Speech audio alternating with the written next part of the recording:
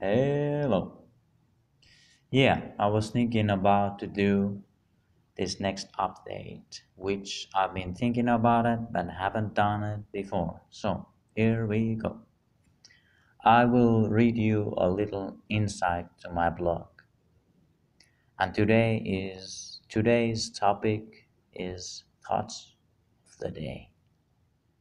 In life, they say there is ups and downs.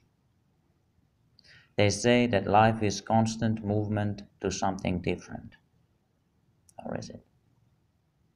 Some say that life is movement to drama for another, and crises are continuous dilemma.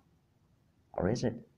the choice is yours. Well, uh, anyhow, I believe we should find a balance between the mind mentality reflected, reflected to physical changes in our body and strengthened awareness for the environment around us.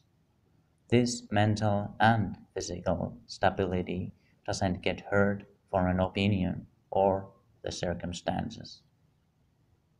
So that kind of human being is strong inside to outside. This stable mind is calm in the deeper level of mindset without need to prove it to anyone else. Of course, it's willing to share it for an open minded person. There you go. Be free, feel well.